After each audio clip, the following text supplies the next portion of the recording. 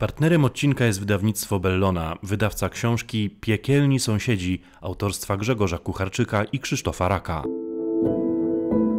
16 grudnia 1949 roku miasto Chengdu w Chinach zbliżał się wieczór, gdy na pokład samolotu DC-4 wsiadł przywódca Kuomintangu i Republiki Chińskiej Chiang Kai-shek. Pilotowi niełatwo było sterować samolotem. Pogoda znacznie się pogorszyła, leciał prawie na oślep, a dodatkowe nerwy spowodowane tragiczną sytuacją wojenną wzmagały fatalny nastrój załogi. Wojna domowa w Chinach dobiegała bowiem końca. Chengdu było ostatnim przystankiem wycofującego się Chiang Kai-sheka w kontynentalnych Chinach. Teraz przebywając w wąskim gronie na pokładzie samolotu, czuł, że ponosi największą porażkę w swoim życiu. Jego kraj wpadł w sidła komunistów. To, co jeszcze parę lat temu wydawało się kompletnie nierealne, teraz stało się brutalną rzeczywistością. Ostatnim punktem Punktem oporu miała być teraz oddalona o około 160 km od granic kontynentu wyspa Tajwan. W okolicy 21.30 samolot z Changiem na pokładzie wylądował na wyspie. Jeśli bym mógł kontynuować me ambicje i wcielić je w życie, uświadomiłbym sobie, że nowe przedsięwzięcia i nowa historia zaczynają się od dziś. Pisał kilka dni po lądowaniu. Nikt jeszcze nie wiedział, że ta decyzja, lądowanie na wyspie Tajwan, będzie punktem zwrotnym w historii Chin, a przez kolejne dziesiątki lat będzie źródłem poważnych niepokojów w Azji. Od tego słynnego lądowania mija w tym roku dokładnie 75 lat. Dziś Tajwan jest bacznie obserwowany nie tylko przez ekspertów do spraw międzynarodowych,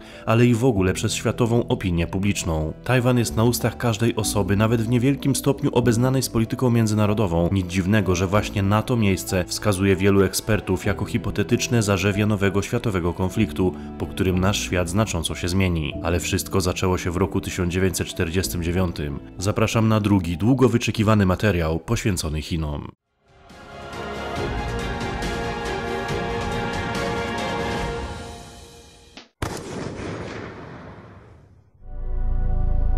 Rozdział pierwszy. Tajwan po 1945 roku.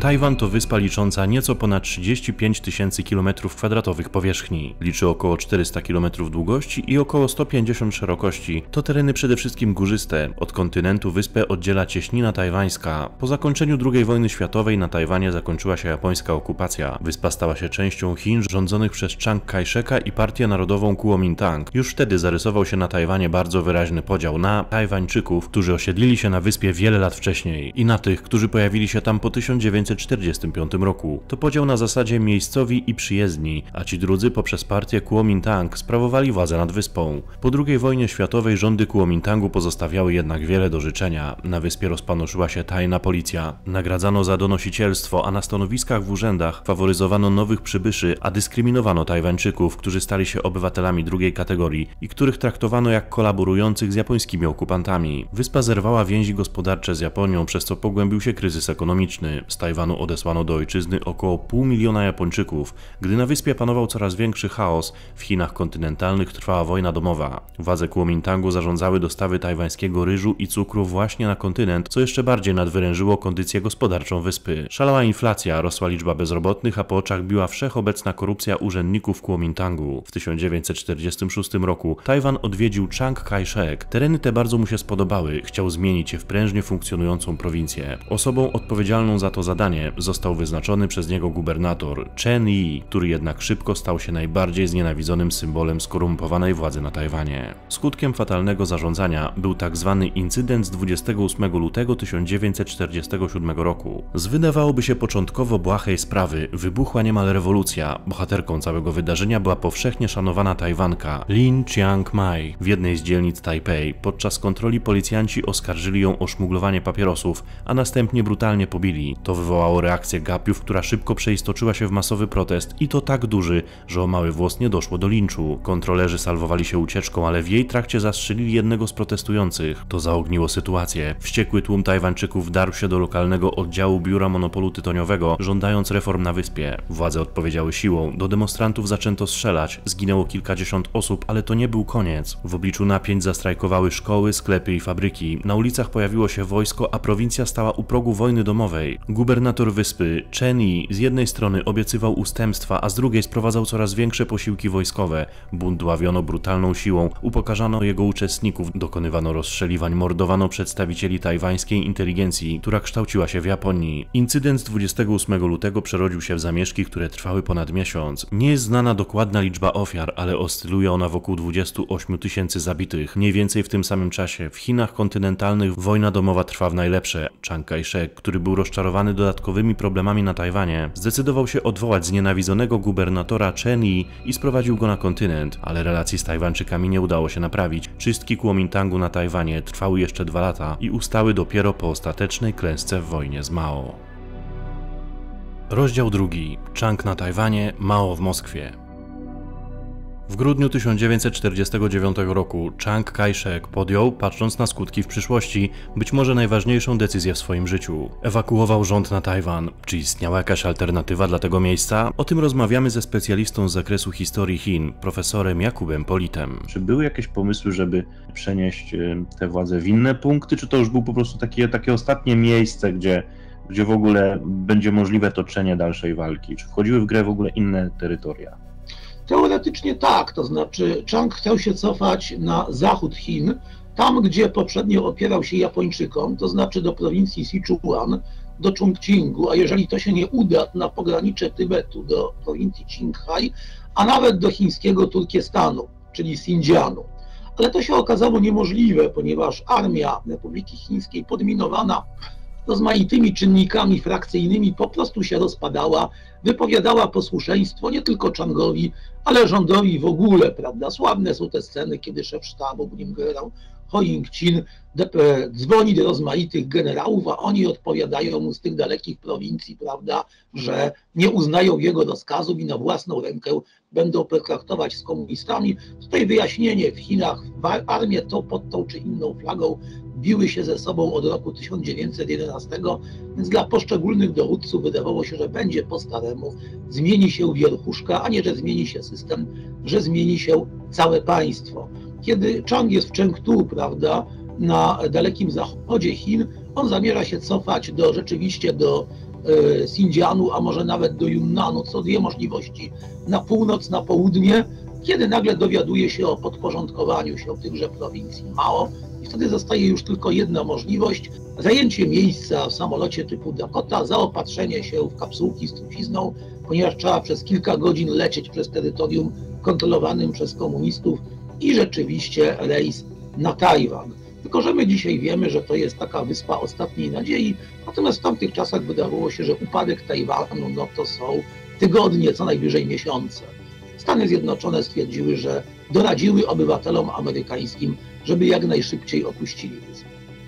E, jak panu się wydaje, co wtedy Chiang Kai-shek mógł e, myśleć w chwili, gdy udawał się właśnie drogą powietrzną na Tajwan? Czy on zakładał, że uda się jeszcze kiedyś odbić te terytoria?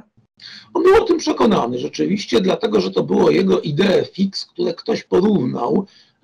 Oczywiście ironicznie, ale nie sądzę, czy akurat należałoby się z tego śmiać, do sławnego i modlitwy ortodoksyjnych Żydów. Dziś świętujemy Paschę tutaj, ale za rok w Jerozolimie. 16 grudnia, gdy Chang udał się na Tajwan, Mao oraz Zhou Enlai stawili się w Moskwie. Okazja była niebagatelna, wszak sowiecki dyktator Józef Stalin obchodził 70. urodziny. Moskwa już 2 października 1949 roku, dzień po ogłoszeniu powstania Chińskiej Republiki Ludowej, uznała istnienie nowego komunistycznego państwa. Wkrótce uczyniły to pozostałe kraje bloku wschodniego. Mao nigdy wcześniej nie był za granicą. W Moskwie miał się zaprezentować jako przywódca nowego państwa, lider, który wygrał wojnę domową i podbił Chiny. Chciał też wynegocjować z ZSRR długoterminowe umowy o współpracy, ale istniał pewien problem. Otóż były one sprzeczne z umowami z 1945 roku między ZSRR a Kuomintangiem, będące konsekwencją ustaleń z Jałty. Gdyby Stalin zdecydował się podpisać nową umowę sojuszniczą z Mao, byłoby to zaprzeczenie postanowień z 1945 roku. Na razie jednak przewodniczącego KPH czekała długa droga do Moskwy. Nie wiedział, że w stolicy ZSRR czeka na niego fala upokorzeń, jakich nigdy wcześniej w polityce nie doznał. Pociąg, który wyruszył z Pekinu był załadowany ogromnymi ilościami podarunków dla Stalina, od porcelany po hafty, dzieła sztuki i biżuterię. Do pociągu przyczepiono też wagony wagony z chińskimi uprawami, kapustą, ryżem, cebulą i rzepą. Podróż trwała aż 10 dni, warunki nie były najlepsze, głównie dlatego, że chińskie pociągi były pozbawione ogrzewania. Trasa obejmowała Mandżurię i Syberię. Jadąc przez tę drugą krainę, Mao przesiadł się do ogrzewanego radzieckiego pociągu. 16 grudnia w towarzystwie Zhou Enlai'ego i całej delegacji z Chin zjawił się na dworcu w Moskwie. Wizyta już na samym początku zaczęła się od incydentu. Wśród osób, które witały Mao na peronie, najważniejszą osobą był minister spraw zagranicznych ZSRR, Wiaczesław Mołotow. Stalina na dworcu nie było, co Chińczycy odebrali jako afront. Co więcej, chłodny w zachowaniu Mołotow odmówił zaproszenia od Mao, by wejść do pociągu i skosztować chińskiej kuchni. Do spotkania Mao-Stalin doszło dopiero o godzinie 18 na Kremlu. Od początku było jednak widać, kto tutaj jest petentem, a kto prawdziwym wodzem. Stalin przyjął Mao niczym wasala, czekał na niego wraz z całym biurem politycznym w jednej z sal, którą otwarto wpuszczając przybyłych przed czasem chińskich polityków. Stalin zaczął od gratulacji. Jesteś dobrym synem Chin, mówił do Mao. Mamy nadzieję, że zawsze będą dopisywać ci zdrowie i siły. Mao zaskoczył, gdy odpowiedział, że nigdy nie był przez Stalina traktowany poważnie, dlatego z nutą delikatności zaczął robić z tego powodu wyrzuty. Stalin w końcu odpowiedział: Teraz jesteście zwycięzcą, a zwycięzców się nie krytykuje. Chwilę później miała miejsce kolejna wpadka. Na pytanie Stalina, czego spodziewa się po wizycie na Kremlu, Mao odpowiedział,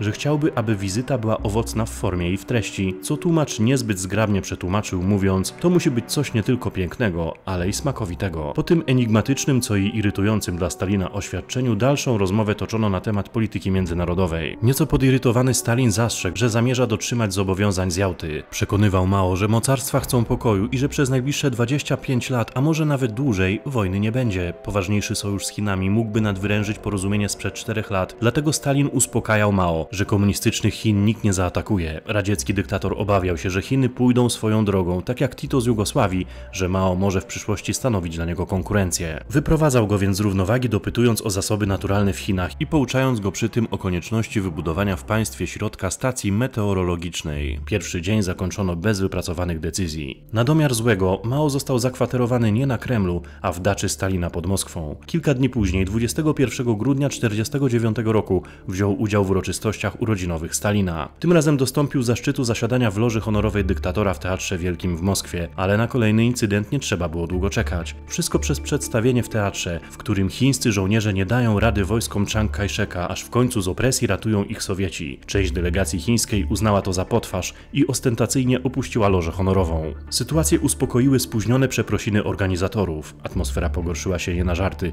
gdy przez kolejne dni po urodzinach Mao nie dostawał od Stalina żadnych zaproszeń na rozmowy. Zachodnia prasa spekulowała, czy Mao nie został przez Rosjan uwięziony, gdy tymczasem siedział on w osamotnieniu w naszpikowanej podsłuchami podmoskiewskiej daczy, pod czujnym okiem sowieckich nadzorców, otwarcie przy tym narzekając na marnotrawstwo czasu, wyrzucając, że jest człowiekiem zapracowanym, że nie ma czasu na taką bezczynność. Zdenerwowany mówił, że w Moskwie jest teraz tylko po to, by, cytuję, spać, jeść i srać. Odwiedzali go wysłani przez Stalina dygnitarze. Wśród nich znów był Wiaczesław Mołotow, który po wybadaniu poglądów Mao zrelacjonował Stalinowi następującą treść.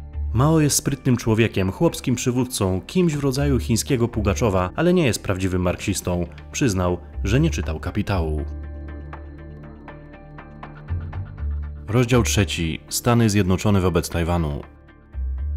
Gdy Mao przeżywał rozterki w Moskwie, Chiang Kai-shek był w o wiele gorszej sytuacji. W chwili, gdy zjawił się na Tajwanie, nie miał nawet stałego lokum, dlatego zatrzymał się w hotelu. W całkowitym milczeniu wpatrywał się w treść telegramu, który właśnie otrzymał, z wiadomością, że pod naporem komunistów padła ostatnia walcząca prowincja Kuomintangu, Yan'an. Formalnie poza Tajwanem Kuomintang kontrolował też wyspy w cieśninie tajwańskiej oraz oddaloną na zachód wyspę Hainan. Krótko po tym, gdy Chang pojawił się na Tajwanie, jakby nigdy nic, udał się z synem na ryby nad słynne jezioro księżycowo-słoneczne słoneczne, chcąc w jakikolwiek sposób zapomnieć o tragedii w Chinach. Na wyspę przybywało jednak coraz więcej żołnierzy Armii Narodowo-Rewolucyjnej, uchodźców, urzędników Kuomintangu oraz ich rodzin. Większość pochodziła z południowej części Chin. Na Tajwanie znaleźli swój nowy dom. Chang miał nadzieję, że postój na wyspie jest tymczasowy. Nadrzędnym celem nadal jest odzyskanie Chin kontynentalnych. Z tym nastawieniem Chang wchodził w nowy 1950 rok. Ale nie brakowało też obaw. Wszyscy bowiem zdawali sobie sprawę, że Mao nie odpuści Tajwanu i wkrótce może dojść do ostatecznej bitwy o być albo nie być Republiki Chińskiej. Tymczasem przez Stany Zjednoczone znów znów przelała się fala dyskusji,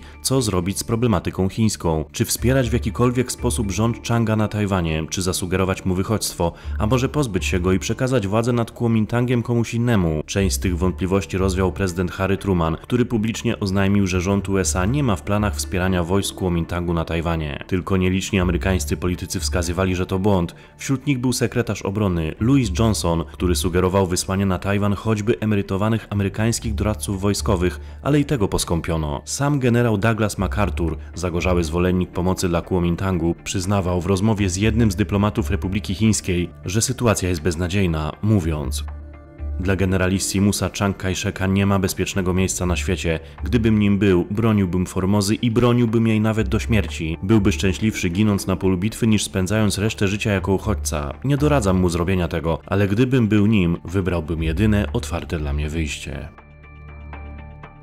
Rozdział czwarty. Układ Mao-Stalin.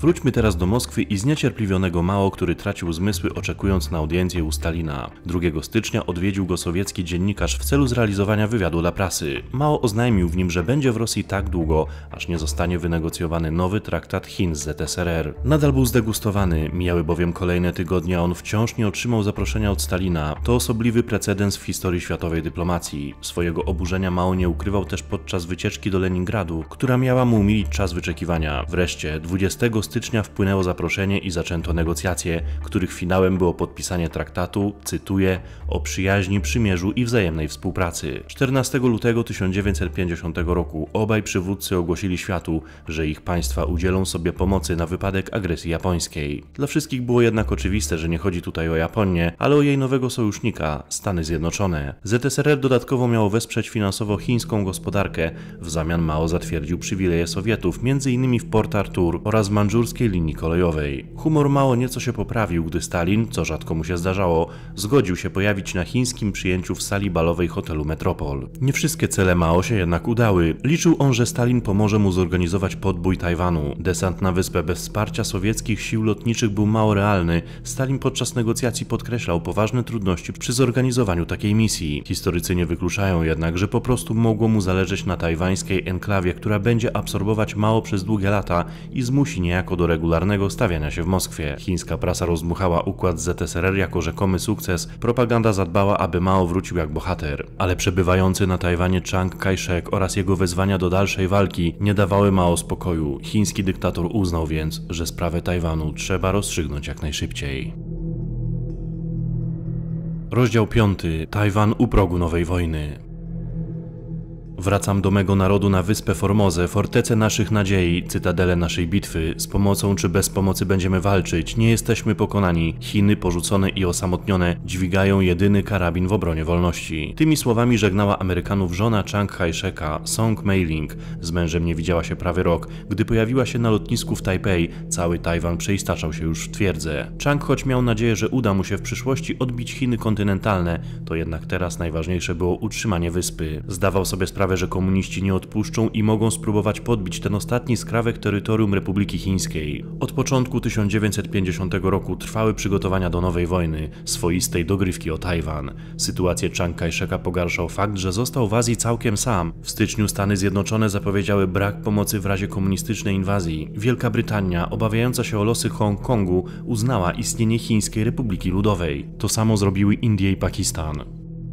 Nowe władze Tajwanu nie zamierzały czekać. W pośpiechu przeprowadzono reorganizację armii, pozbywając się z niej nieudolnych oficerów i dzięki pieniądzom, które uzyskała Song Meiling, powstały nowe ośrodki dla żołnierzy. W pracach wspierających wojsko mobilizowano wszystkich mieszkańców wyspy. Siły Tajwanu w 1950 roku liczyły ponad 300 tysięcy żołnierzy, około 300 czołgów, 300 samolotów i 70 okrętów z 45 tysiącami ludzi. Czerwonoarmiści wprawdzie posiadali liczniejsze lotnictwo, ale to Tajwan miał wszystkie bazy w bliskim położeniu co sprzyjało prowadzeniu obrony. Zaczęto pracować nad odbudową morale oraz nad zbudowaniem zaufania miejscowych Tajwańczyków. W tym celu Chang kazał aresztować byłego gubernatora Chena Yi, którego postawiono przed sądem, a kilka miesięcy później rozstrzelano. Przede wszystkim jednak zaczęto robić czystki w społeczeństwie, aby wykluczyć z niego komunistów. Walka z agenturą była nie tylko brutalna i bezwzględna, ale też strzelająca na oślep. W wyniku czystek ucierpiało wielu niewinnych.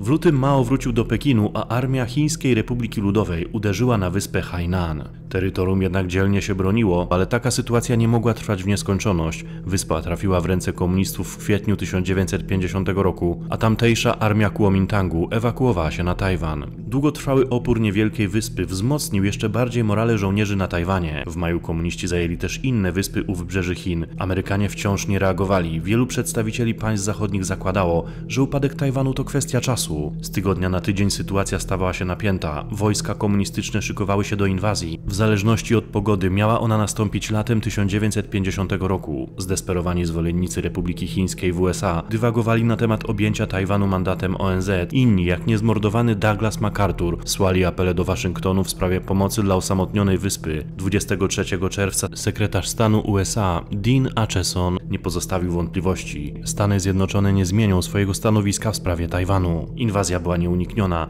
wojska Mao przygotowywały się do ataku. Wydawało się, że tylko cud może ocalić wyspę od kolejnej wyczerpującej wojny o własną egzystencję. I jednak ten w cudzysłowie cud rzeczywiście się wydarzył.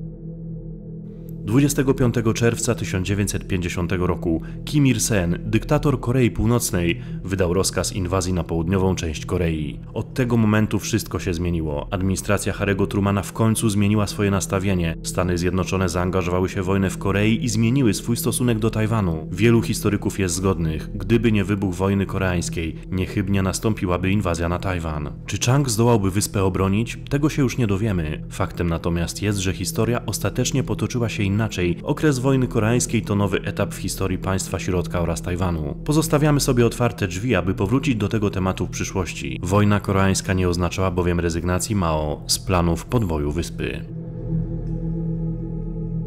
W tym materiale to już wszystko. Podziękowania dla naszych patronów oraz subskrybentów. Trzymajcie się i do zobaczenia wkrótce.